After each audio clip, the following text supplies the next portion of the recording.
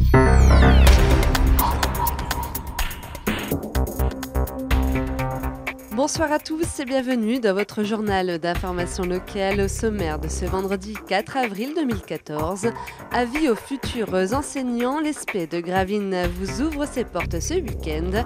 Une dizaine de collèges des environs a participé au challenge environnement à la centrale nucléaire de Gravine. À la clé de la semaine, un voyage et un approfondissement des connaissances. Avec l'aide de l'artiste Karine Braque, des habitants de Gravine réalisent des totems qui signaleront bientôt les maisons de quartier de la ville. Samedi 5 avril, l'école supérieure du professorat et de l'éducation de Gravine organise sa porte ouverte de 9h à 16h.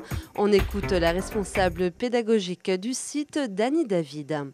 Nous avons la chance ici d'accueillir euh, des formations master, master 1 master 2, pour préparer les étudiants au professorat des écoles mais aussi euh, des masters pour préparer les étudiants au professorat de lycée et collège.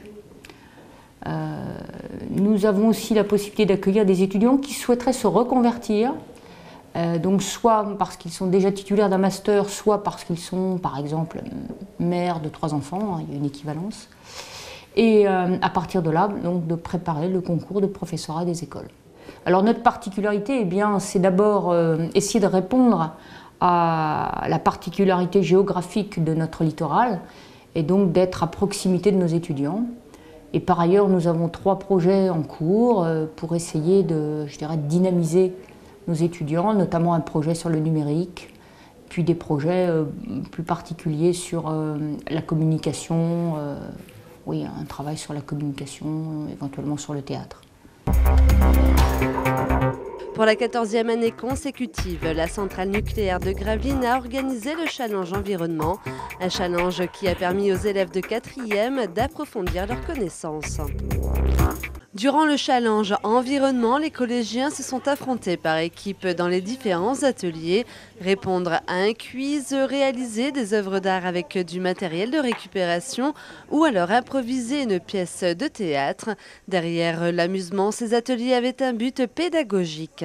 Alors nous sommes persuadés que c'est pour ce public-là d'enfants où il est important de leur apprendre les gestes écologiques, toutes les notions derrière le développement durable et c'est à travers des ateliers où ça nous paraît le plus pertinent. Le challenge environnement permet non seulement d'apprendre les gestes écologiques, mais aussi de concrétiser les cours de SVT et de sciences physiques. On doit parler euh, d'énergie renouvelable, euh, d'énergie fossile euh, dans nos programmes en sciences physiques, en SVT. Donc de toute façon, on en parle, même si on ne faisait pas le challenge environnement, on en parlerait. Mais là, évidemment, on, accentue un petit peu les choses avant de venir. Et puis on en reparle aussi après, ça, ça sert, ça sert de support. Pour Adrien Lemaire, venir à la centrale nucléaire est une aubaine.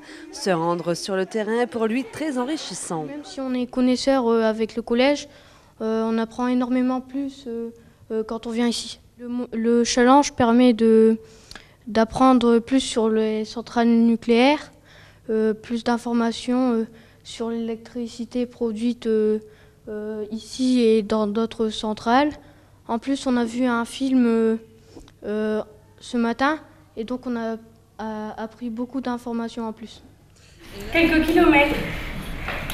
Maman, il est 14 heures. Papa, je n'ai plus de batterie sur d'énergie sur mon portable. C'est rien, tu peux encore le mettre en mode écologie. Il y a beaucoup de véhicules sur l'autoroute. Depuis le printemps 2013, Atouville, en partenariat avec le CCAS de la ville, a initié un projet impliquant des habitants pour réaliser des totems à l'image des quatre quartiers de la ville. Concevoir avec une artiste des signalétiques à l'image des quartiers de la ville, c'est ce que réalisent des habitants de Gravelines avec le projet Totem. Le projet consiste euh, tout simplement à, traduire euh, l'identité, les éléments forts des quatre quartiers de Gravelines euh, dans, une, réalisation totem de rue qui seront implantés à proximité des quatre maisons de quartier et qui serviront de signalétique et de, et de repères. Un projet qui a démarré en 2013 avec des recherches historiques sur les éléments forts des différents quartiers de la ville. Un moyen convivial de redécouvrir son patrimoine. On a d'abord évidemment fait une petite promenade dans les différents quartiers de Gravelines. On a relevé les bâtiments qui, selon nous, euh, étaient symboliques en fait de l'identité des différents quartiers. Et puis euh, les participants au projet ont euh, réalisé des maquettes réalistes en fait telles qu'on peut voir ces monuments. Et puis ensuite, on a pris tous ces éléments qui avaient été réalisés en volume et on a essayé de dégager des formes beaucoup plus épurées où on est moins dans l'illustration en fait euh, qui puisse évoquer euh, ou les bâtiments en question ou l'identité des quartiers. Ces totems seront formés d'une base et d'un axe sur lesquels s'empileront les différents modules ainsi créés. Ils seront réalisés en ciment, certains avec des formes pouvant faire penser à la mer, d'autres aux fortifications, etc., etc. Une façon de faire déborder la création dans la rue tout en participant à une création collective. On aide à travers ces activités euh, les personnes à développer leur potentiel, des capacités, des compétences. On cherche aussi à ce que les gens se rencontrent, des gens d'horizons différents, et que derrière, euh, les, personnes puissent aussi euh, continuer à découvrir nos services, nos activités pour ceux qui ne connaissent pas, et continuer à fréquenter nos maisons de quartier. Pour valoriser le projet et le travail des habitants, le 17 avril, une exposition retraçant le cheminement du projet sera visible à la maison de quartier du Pont de Pierre. Le groupe Blues Eaters, fondé en 2008 et originaire du Nord-Pas-de-Calais, donnait un showcase au Centre artistique et culturel François Mitterrand à Gravelines ce jeudi 3 avril à l'occasion de la sortie de leur nouvel album.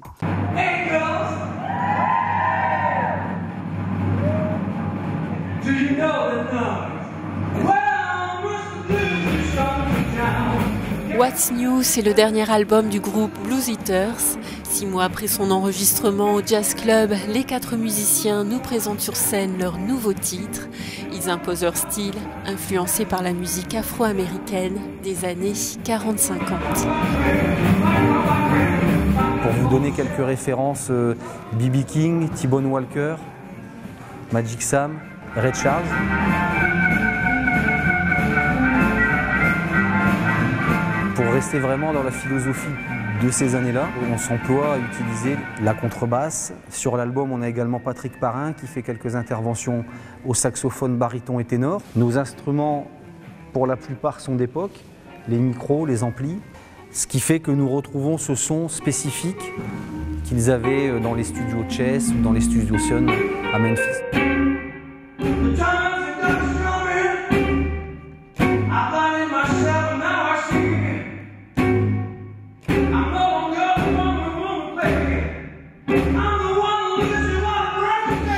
Norman, le fondateur du groupe, a d'ailleurs été bercé dès sa tendre enfance par le gospel.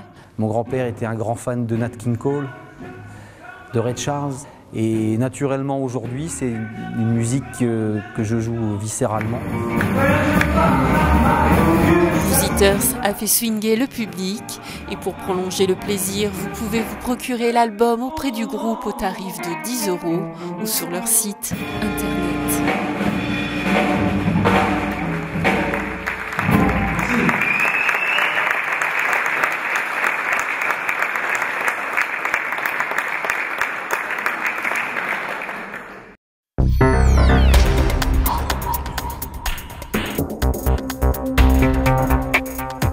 Voilà, c'est la fin de cette édition. Merci à tous de l'avoir suivi. Tout de suite après, retrouvez Vincent Vieillard à bord du bateau le Anna Matteo.